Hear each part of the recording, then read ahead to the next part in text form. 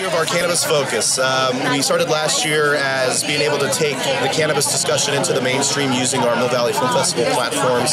Wanted to bring it out of the niche market and really have an educated discussion to break down stigmas, to make it be something that people can really try to understand since it is becoming legal and becoming more culturally accepted.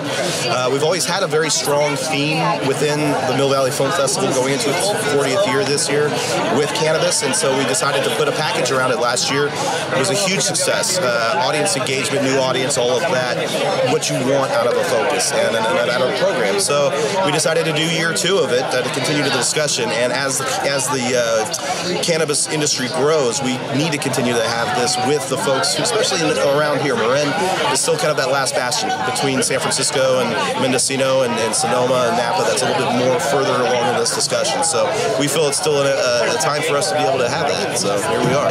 Folks who I would never have thought would have approached me as interested in this kind of topic, almost like in that coming out of the closet feeling. And because they're able to do it in a way that they feel comfortable, it's made it something that they feel more, I think, uh, easy to come to and have this discussion with us. And that's really what we want to do is bring it, you know, to everybody's kind of mainstream life. My biggest challenge last year was we wanted to represent the cannabis industry and the discussion from what we would consider our brand, which is one of quality, one of integrity, and one of ethics. And the Mill Valley Film Festival has always had kind of an academic credibility to it, and we wanted to bring that to this topic. And there is so that took some you know careful navigating and a lot of a lot of fun education on my side. So you know it's been something that I've I've, I've learned a ton for someone who thought that I knew a lot about it, and I really was just you know the tip of the iceberg on it. Because that first meeting where we presented this as an idea early on, uh, one of my coworkers kind of threw it out there as, okay, what are we are we going to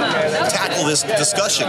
And you would have thought he'd have just lit a joint and started passing it around the boardroom. You know, it was that kind of people taken aback by it.